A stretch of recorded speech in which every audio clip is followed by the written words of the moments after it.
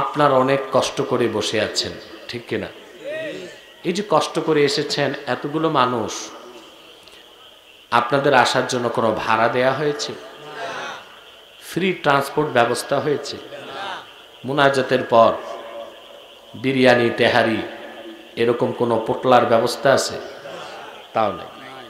এই যে কষ্ট করে এসেছেন আর বসে আছেন, কোনো বিনিময়ে চান? আমি চাই।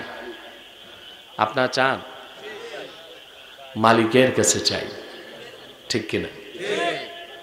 আল্লাহ তালা সবচেয়ে বড় বিনিময় যেটা দিয়ে দিছেন, সেটা হলো তিনি আমাদের ভালোবেসেছেন।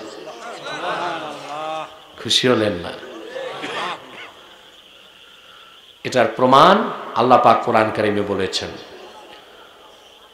قل إن الله يضل من يشاء ويهدي إليه من أناب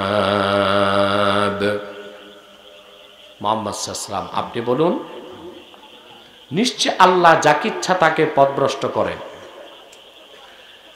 আর বিনয়ের সাথে যে এগিয়ে আসে আল্লাহ তাকে হেদায়ত করে রহমতের কোলে টেনে নেন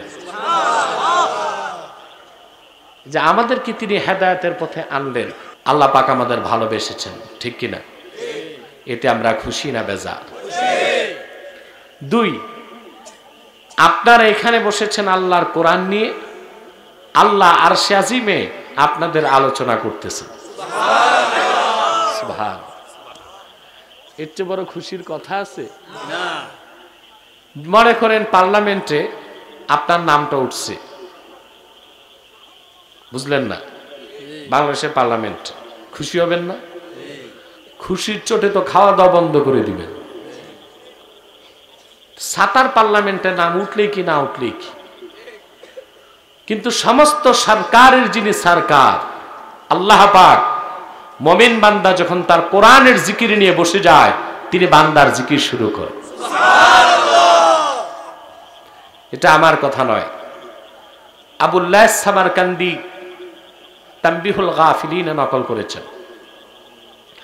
মানুষ যখন কোরআনের ইলিম শিখতে বসে যায়, একদল ফেরিস্তা আল্লাহর কাছে চলে যায়। আলাপাক জিজ্ঞেস করেন, কোথার থেকে এসেছ?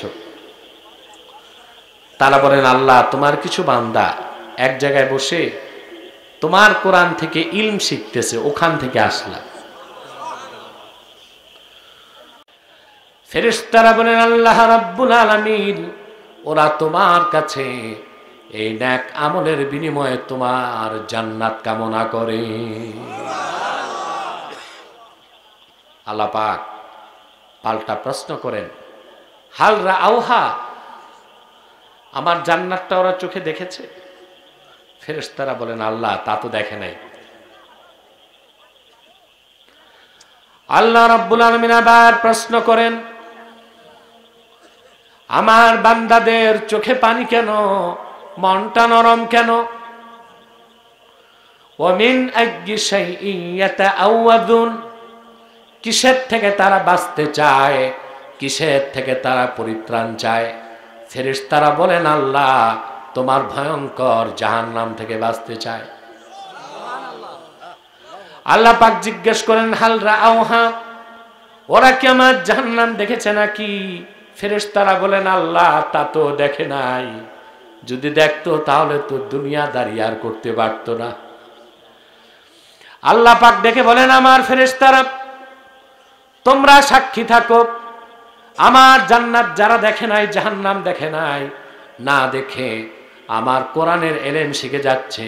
আমি আল্লাহ তাদের জীবনের সব গুণা মাফ করে দিলাম।